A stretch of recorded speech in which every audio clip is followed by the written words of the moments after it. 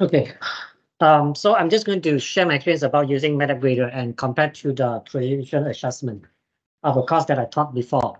I'm going to make it very quick so that we can save some time. So the context will be this. Um, we have a course on introduction to computing. We use MATLAB as a language.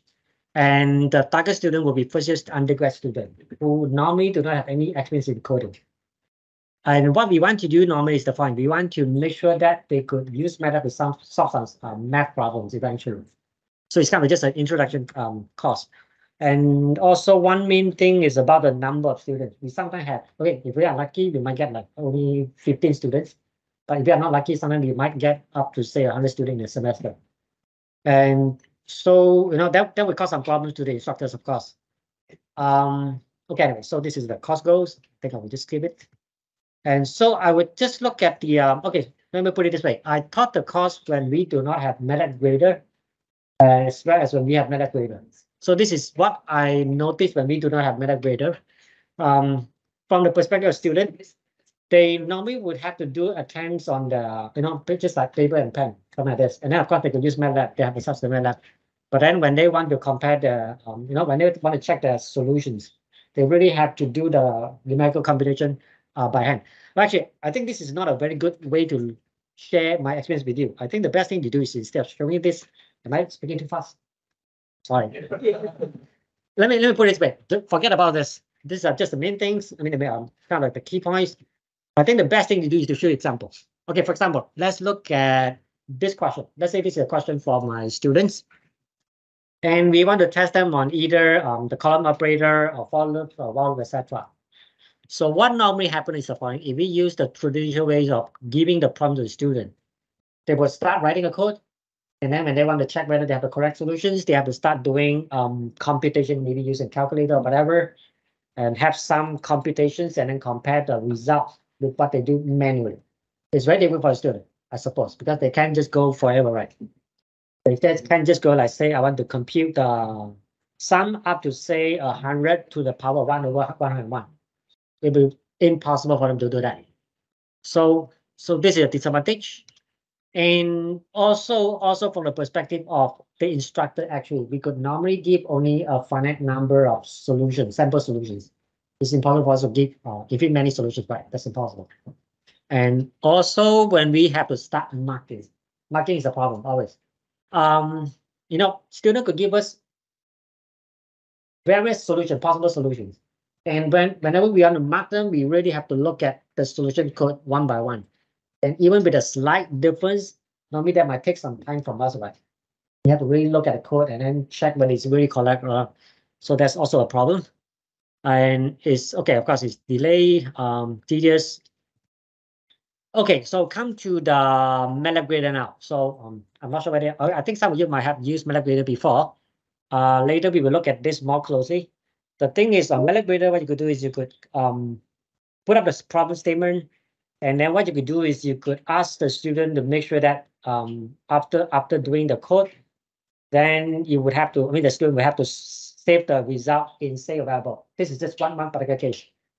And the nice thing about this is, once you do that, the student could actually run pretest. They could actually test whether the code is correct or not. And that's done by MATLAB, by the system. They don't have to worry about uh, doing it by hand compared to what they have done by hand as well as uh, versus the code they have. So this is one nice thing. Uh, and then also they could get immediate feedback so um, so if that code is correct, they would get that is correct. And is it working? Oh yeah, of course. So if they change the solution a bit, you know, even if they are putting another solution, they will still mark them as correct. So from a perspective um, of an instructor as well, we don't have to worry about students have many different solutions for us. You don't have to worry about that. We just let the system do it. So that save time and also, we have real-time um, monitoring of student progress. Once a student track the problems, we could actually look at their progress right away. Actually, is not uh, for the overall, but also for individual um, code as well. You could actually check. Actually, this is not what I would do. If they got it right already, I normally don't care. I actually look at only the one that is incorrect. That's what that happened. But that saves time, right? Because if this is correct, then I don't care about it anymore. Um, okay, so this is another example. This is an example where the student may not even be able to uh, kind of like do the computation by hand and then start comparing the result they get from uh, the code as well as what they got uh, manually. So there's some random element in this question. That's the reason actually. And okay, so as before, um, they would be able to get the result right away. I mean, whether they, they get it right or wrong.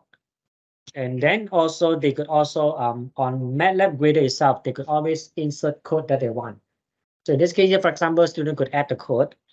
Um, the one that I have labeled there, student at this line, and then they could actually check whether they get something correct or not on their own. So instead of doing it like in the usual way, traditional way, paper and pen, etc., they could actually insert whatever code they want to test the code or to see what's going within, I mean, uh, in the code.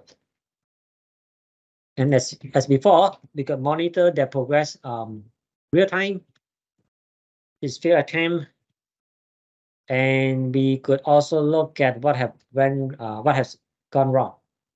So this is one example where we have the student got it wrong. And this is the last thing I will share. Um, this is also something that we normally would not be able to do if we would read the problem statement on paper. Like if we want to explain more about primes, uh, we, if we want to explain more about what it means by prime gap, etc., we possibly have the typeset.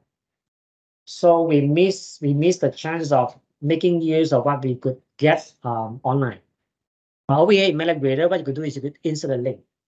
So if, for example, if you think uh, Wikipedia page is good enough, you could actually link to that page and let that page explain um, that concept to the student. Instead of having spent your time to really write it down, etc., etc. And also, in this case here, we could also, okay, this is another way of assessing student on MATLAB Grader. We could have a student write functions. And we could also give already some um, possible, you know, uh, possible results for the computation in the problem statement.